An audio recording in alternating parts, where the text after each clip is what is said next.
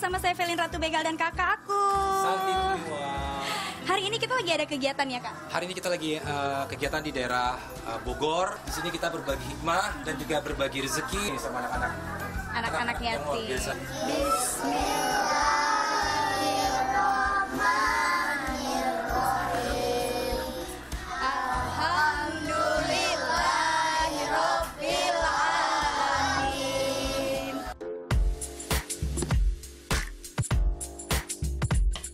Alhamdulillah nih, Alhamdulillah good people. sudah good people. Juga di sini kita mendoakan Robi Habli Minas Solihin supaya mereka menjadi anak-anak yang soleh dan solehah Amin. dan doa-doanya mereka insya Allah dikabulkan oleh Allah Subhanahu Wa Taala.